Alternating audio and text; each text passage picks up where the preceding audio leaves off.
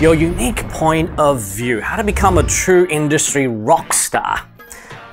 Now, there are really three phases of building authority uh, in your industry and in your niche or your niche. Setting up, number one, your authority position and the foundation.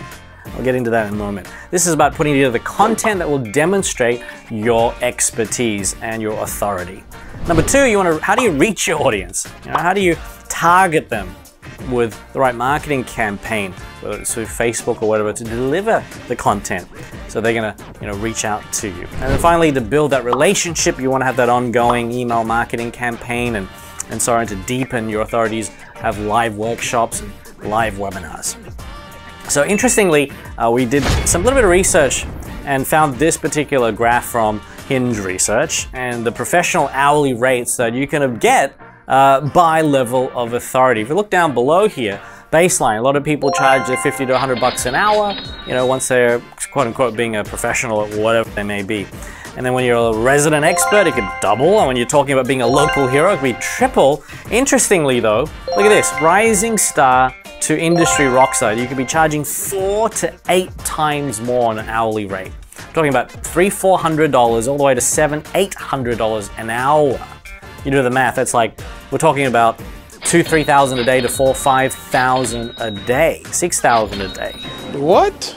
That is the range of a lot of high-level, uh, you know, top-tier consulting firms. Right? When I was working in, in the whole strategy consulting firm, whether you're in Accenture or BCG, a lot of the managers are charging around that three, four, five thousand a day mark. Now, if you're a partner, right, you're considered kind of like a global superstar. A very limited number of partners in these big firms, and they're literally charging 10 grand a day. So we're talking about you know up to $1,400 an hour. You do the math on an eight hour, that's that's a that's a rock that's a solid ten, eleven thousand dollars.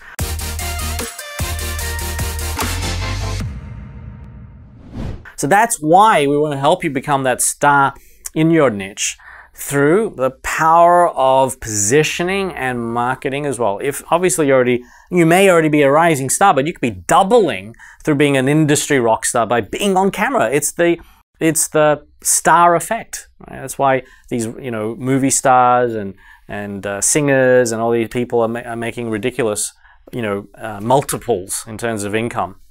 Now, interestingly as well, the buyer demand is in the industry rockstar area. It's not necessarily the global superstar. Not many people can afford the ten, twelve thousand dollars uh, a, day or whatever rates, or twenty thousand dollars. Even these super superstars could be charging fifty to hundred thousand dollars just for a day to speak, right? So there's a lot of demand for the for the industry rock stars who are charging the two, three thousand to five to six thousand dollar level. Now, you could be famous like a George Clooney and make 50 to 100 million dollars a year. How many of George Clooney's are there? Or you could be like a Russell Brunson and make kind of that type of money as well. Not quite as much, but he's certainly a rock star in an internet marketing niche. He's internet famous. So in your niche, we want to help you become, you know, internet famous. There are really three criteria to determine, you know, where you build your authority. Hopefully you've already gone through part of this in module number one. What is your expertise? Tapping into your work and life experiences and your field of study and your unique ideas. What's the demand though? Is your expertise something people are looking for and willing to pay and are already paying for? And is it really fulfilling? A lot of people try to get into the expert's business and they don't consider many different factors like this. Is it going to allow you to have the freedom in your life and in the business uh, as well, ability to choose how you use your time and who to work with and so on. So let's do some exercise here. What's your unique point of view? This is really critical because when you're talking about headlines and uh, teasers, what title, you know, for your ad or the first few lines of your ad will captivate someone that is completely different. It's a unique point of view. Well, what is the field and audience you want to be an authority for? Let's just quickly answer that question, okay? Pause the video and let's just do this quick, quick exercise. Okay, phase one, five steps to creating your unique point of view. Let's delve it deeply into how to come up with a unique point of view.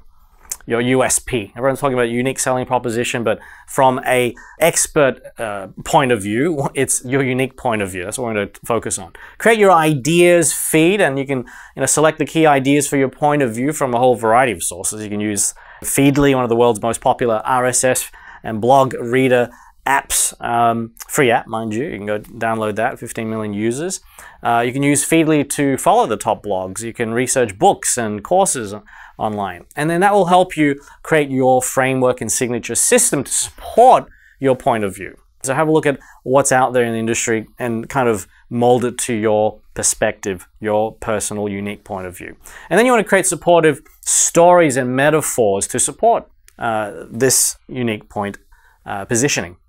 You want to speak about it, you want to write about it, you want to post and communicate this point of view, uh, and also get the feedback initially. And then you need to create your product. You need to create your webinar that we'll talk about shortly for, for your point of view, your lead magnet. So these five things, really, let's do some exercises on this. What are the common misconceptions people have? Think about that in your particular niche. Where do you disagree with the status quo? Everyone seems, all these so-called experts are saying kind of similar things. How can you kind of disrupt that? What are the methods you found to work after you know you've been testing using them over the past years? What are the most overused points of views in your industry that you can take an opposite perspective? Everyone's talking about webinars. We created a, a, an ad where it's the death of webinars. That actually did pretty well. We had a really good uh, opt-in rate. Continuing on, what's your secret sauce of getting amazing results for your clients? What is the one most significant thing that you could advise your clients to do in order to make massive progress in their business. Now, you don't have to reinvent the wheel. There's a lot of gurus out there, uh, but you can put your spin on it. They've already created their unique twist, and we've certainly looked at other Facebook ads and modeled off them and put our unique point of view to differentiate from them which we'll explain a little bit later as well. What are the powerful megatrends in your industry that people don't fully utilize yet? A lot of people are getting onto Facebook. A lot of people are doing video on Facebook. But how many people are doing high impact videos? All right, so that's we're stacking a mega trend here. Everyone's getting gradually the you know we're getting more and more sophisticated with the video production side, and it's becoming a lot more cost effective for the average entrepreneur. Number eight, is there any new developments, insights, or research that disrupt your industry and moves the needle when implemented?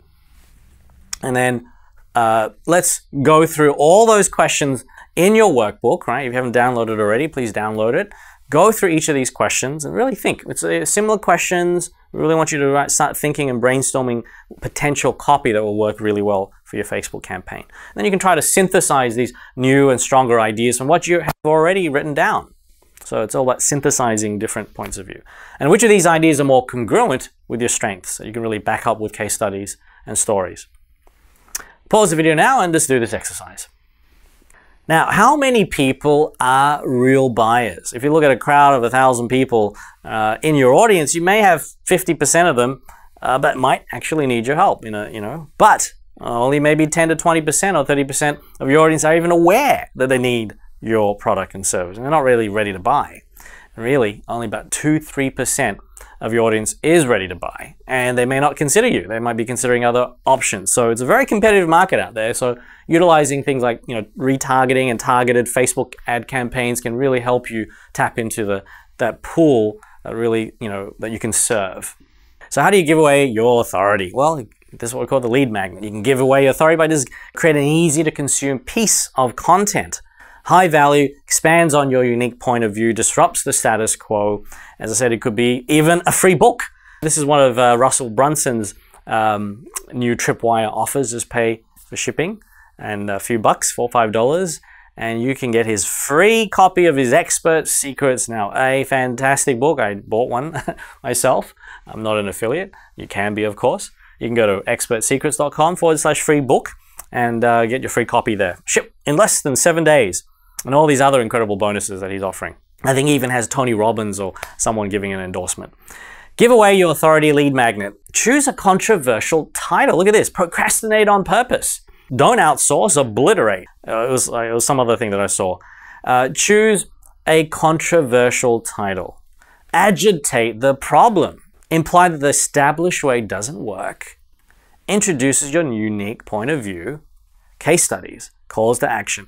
See, Look at this title, Five Permissions to Multiplying Your Time. He did a great TED Talk, won't you? Procrastinate on purpose. Everyone's talking about, you know, stop procrastinating, you know, take massive action. But he's like, no, procrastinate on purpose. Effective traffic sources. So once you've got the lead magnet, what about marketing to the right people or paid advertising? You know, we really subscribe to that. Facebook video ads in particular, being featured in conferences, summits as a speaker, even virtual summits, guest blogging, reaching out on social media. So let's work on creating your lead magnet.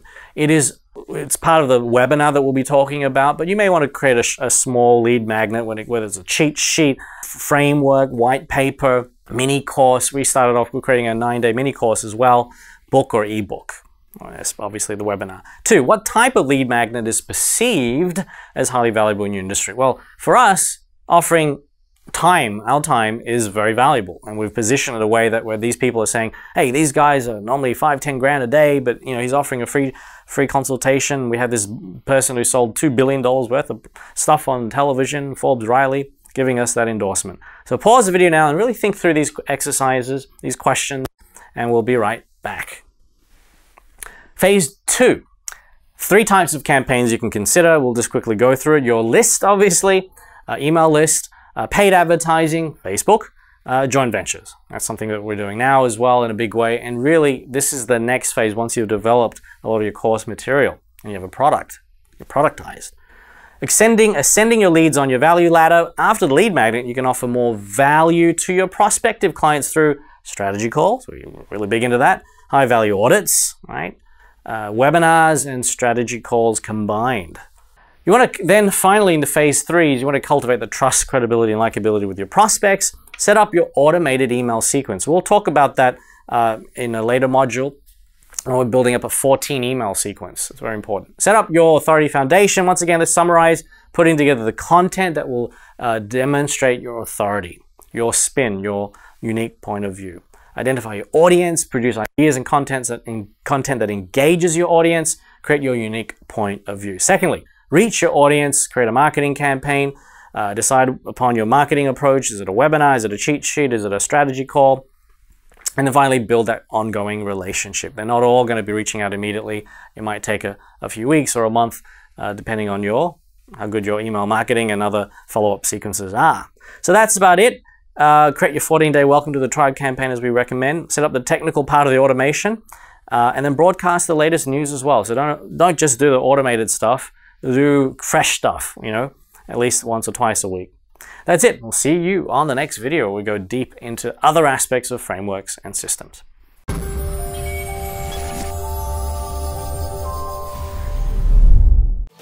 Holy cow, I can't believe you watched the whole video, so thank you very much. Be sure to hammer that thumb thingy, comment below if you have any questions, or if you have anything nice to say, we'll appreciate it. So we'll see you on the next video. Ciao.